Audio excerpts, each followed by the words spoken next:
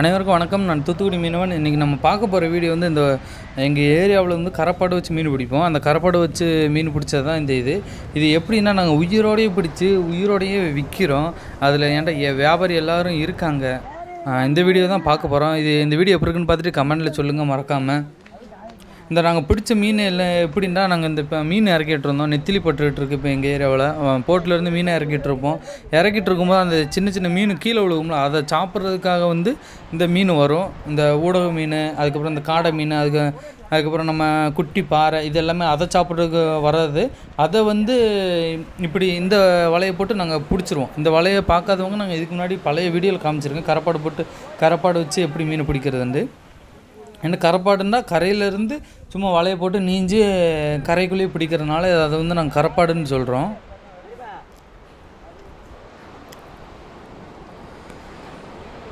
இந்த மீனை பார்த்தீங்கன்னு வச்சுக்கோங்க என்கிட்ட துடிக்க துடிக்க இருக்குது மீனை பிடிச்சோம் பிடிச்ச உடனே இதுக்கு முன்னாடி என்ன பண்ணுவோம்னா மீனை பிடிச்சி கொஞ்ச நேரம் வச்சுருப்போம். அதுக்கப்புறம் அந்த மீன் செத்ததுக்கப்புறம் தான் வியாபாரிலாம் வந்து நம்மள்ட்ட வந்து வாங்க வருவாங்க. என்கிட்ட கொஞ்சம் லேட் ஆகும். இது அப்படி கிடையாது. வியாபாரி எல்லாருமே இந்த மீன் எடுக்கிறக்காண்டி நின்றுட்டு இருக்காங்க. அவங்களுக்கு பிடிச்ச உடனே உயிரோட கொடுக்கையும் எப்படி இருக்குன்னு பாருங்கள் அதுவும் இல்லாமல் இந்த மீனை ஏலத்துலேயே வச்சு விற்றுருவோம் ஏலண்டா சும்மா வட்டக்காரன்னு இருப்பாங்க. அவங்கள கூப்பிட்டு வச்சு சிம்பிளாக சும்மா ஏன்டா இந்த கொஞ்சம் மீன் தானே இருக்குது அதை சிம்பிளாக வச்சு ஒரு மூணு வியாபாரியை வச்சு விற்றுருவோம் ஏலத்தில் வச்சு. இந்த மீன் எவ்வளோ ரூபாய்க்கு விற்றுருக்கோன்ட்டு பாருங்கள் ஏன்டா கொஞ்ச நேரத்தில் பிடிச்சிருந்தோம் உடனே மீனை பிடிச்சி உடனே வேலையை முடிக்கிறோம்.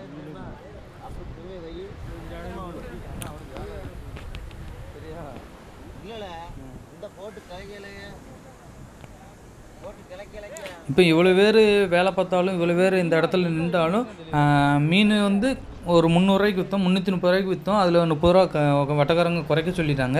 அதனால் முந்நூறுரூவாய்க்கு விற்றோம் முந்நூறுரூவாய்க்கு விற்றதில் ஆளுக்கு ஐம்பது ரூபா மணிக்கு அப்படி பிரித்து எடுத்துக்கிறோம் அவ்வளோதான் எத்தனை பேர் இருந்தாலும் சும்மா செலவுக்குன்னு மட்டும் வச்சுக்கிறது தான்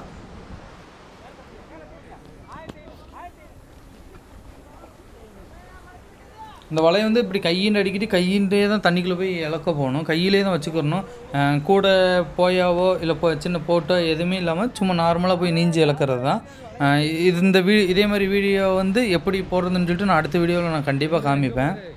நீங்கள் அந்த வீடியோவில் பார்க்கும்போதே தெரியும். இப்போ பாருங்கள் மீனை நாங்கள் இந்த கழிவு எடுக்கும்போது எவ்வளோத்துக்குள்ள உயிரோட கிடக்குண்டு எல்லா மீனும் உயிரோடு தான் கிடக்கு. செல்ல செ சின்ன சின்ன மீன் மட்டும் செத்துரும். இந்த துடிக்கிற மீன் வந்து சிறையா மீன்லேயே காடை மீன் வகை. இந்த அந்த செரையா மீன் இருக்குல்ல நான் இதுக்கு முன்னாடி வீடியோலாம் காமிச்சிருப்பேன். செரையா மீனோட வகையில் இந்த காடை மீன் வந்து நல்ல டேஸ்ட்டாக இருக்கும் நல்லா இருக்கும். ஏன்னா இந்த மீனில் வந்து வாலில் வந்து மஞ்சள் அடிச்சிருக்கும். அதை பார்த்தாலே தெரியும் உங்களுக்கு. பா துடிக்கும் போது வாலில் மஞ்சள் அடிச்சிருக்கிறது.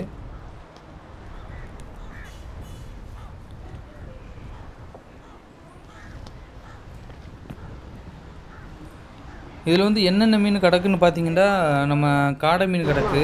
அதுக்கப்புறம் குட்டி பாறை அதுக்கப்புறம் இந்த செவ்வனி பாறை ஊடகம்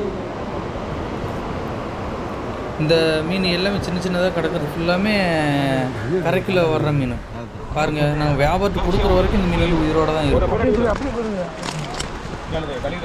எல்லாம் எவ்வளோ மீன் பிடிச்சிட்டு கிடக்குன்னு பார்த்துக்கோங்க இரநூறு இரநூறு இரநூறு பத்து இருபது முப்பது நாற்பது இரநூத்தி ஐம்பது அறுபது எழுபது எண்பது முந்நூறு பத்து இருபது முப்பது முந்நூற்றி முப்பது முந்நூற்றி முப்பது.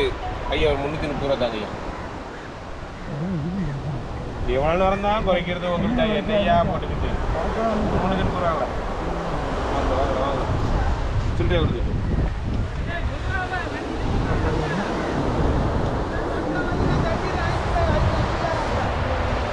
இப்போ வியாபாரி தவிர யாராச்சும் கறி மீன் வாங்க வர்றவங்க வந்திருந்தா கூட இந்த மீனை வந்து உயிரோடு கொண்டு போய் சமைச்சிருக்கலாம். உயிரோட வெட்டி இங்கே வச்சு என்ன உயிரோடு வாங்கும்போது வந்து ம மக்களுக்கு வந்து அதிகமான சந்தோஷமாக இருக்கும்ல. ஏன்னா ஐஸ் மீன் சாப்பிட்றதுக்கும் மீன் ஃப்ரெஷ்ஷாக இருந்து வாங்கி சாப்பிட்றதுக்கும் ரெண்டுக்குமே டேஸ்ட் வந்து ரொம்ப வித்தியாசமாக இருக்கும். ஏன்டா அந்த ஃப்ரெஷ் மீனை சாப்பிட்டவங்க வந்து கண்டிப்பாக ஐஸ் மீனை சாப்பிட்றது வந்து தவிர்ப்பாங்க. ஏன்னா அந்தளவு வந்து ருசியை வந்து இந்த ஃப்ரெஷ்ஷாக இருக்கிற மீன் வந்து நம்மளுக்கு கொடுக்கும். வீடியோ பார்த்து அனைவருக்குமே ரொம்ப நன்றி. இந்த வீடியோ எப்படி இருக்குன்னு சொல்லிட்டு கமெண்ட்டில் சொல்லிடுங்க மறக்காமல் வீடியோ பிடிச்சிருந்தா உங்கள் ஃப்ரெண்ட்ஸுக்கும் ஷேர் பண்ணி விட்ருங்க வீடியோவில் ஏதாச்சும் குறைகள் இருந்தாலும் கமெண்ட்டில் சொல்லுங்கள் நன்றி வணக்கம்.